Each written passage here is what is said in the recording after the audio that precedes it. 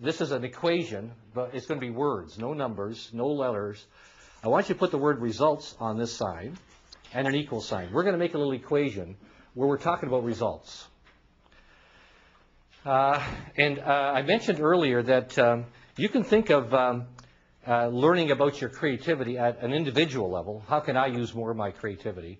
At a team level, how can I uh, get this next group meeting to be really highly creative or the company as a whole? Let's take the middle one.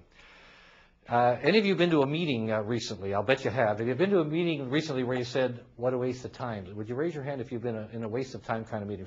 Almost everybody has. People hate meetings because they say, you know what? Nothing ever happens. And uh, in other words, we didn't get any results. So we got these people together for two hours. Think of all the money that cost, and nothing happened. Well, here's some thinking. Uh, if you're going to get results from a meeting, and a meeting is a group of people getting together to do something, one thing you need is you got to have in that room the right content. Okay? I'd like you to write, write that word down. Right content.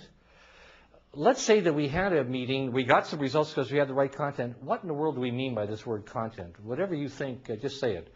What, what do we mean by the right content? Information. In, in, information subjects? Yeah. Participants. Okay, the key thing is we had the right participants, the right people who had the right information, the right knowledge.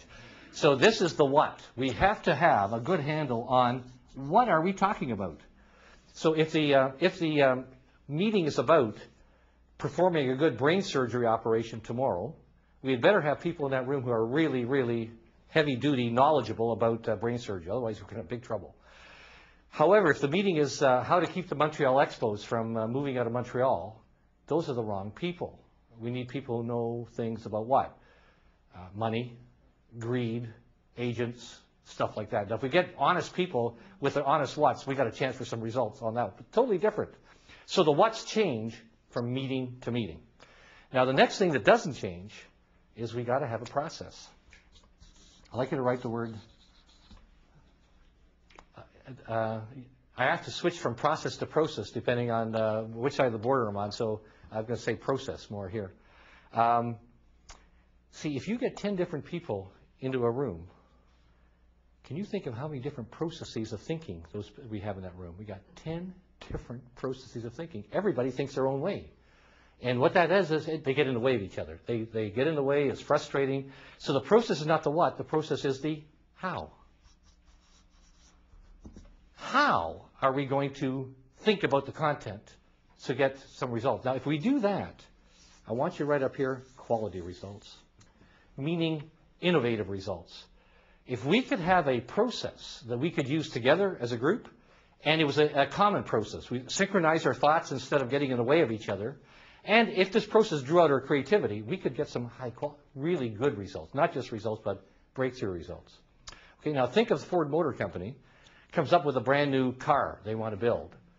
And they have this big uh, plant, and they dump all the parts in the middle of the floor and say, okay, you guys, go to it, build the car. Uh, they got the right content, but there is no process. And we got a very bad car. Now they say, no, we got an assembly line, state-of-the-art assembly line, got a great process to put those parts together for a really, really good car. But they don't teach anybody how to use the assembly line. Still a bad car because there are no process skills. I want you to add to this process skills. And process skills are how to do the how.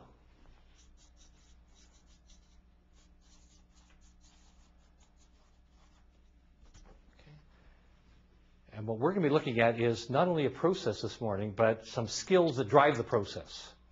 And we're going to look at both of those two things and get a good handle on. These are very simple, and they're just as long as you can put them into practice. And the other thing you need is tools. So they got these. So we're going to also look at some tools. So you got these people on the assembly line, they know how to run it, but they don't have the tools. So we're going to look at tools as well.